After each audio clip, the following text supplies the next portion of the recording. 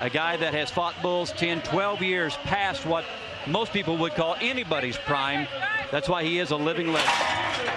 Well, Shane Proctor gets a chance to turn it all around here in round number five. Yet to have a qualified ride, and this is a bull Smiley that can give you a big score, Justin, if you hang on. Robbie Condor got 89 and a quarter in round number one. This is a, one of the top three money bulls of the season. He's also one of the meanest bulls in this pen. He will come and get you. That's Smiley. The bullfighters know it ahead of time. Frank Newsom, he was just playing with him. He knew where he was, even though he was only two inches away. Frank was in total control. Well, like any great athlete, those bullfighters make it look easy. Word to the wise, don't try that at home. Yeah, these guys can take the bull by the horn and they, they can maneuver around the arena. The bullfighters have eyes in the back of their head. They have a real presence and feel of the entire arena.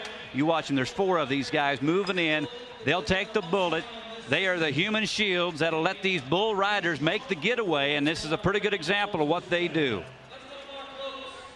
Shane Proctor salvaging that exit as best he can. Lucky to get out of there unscathed.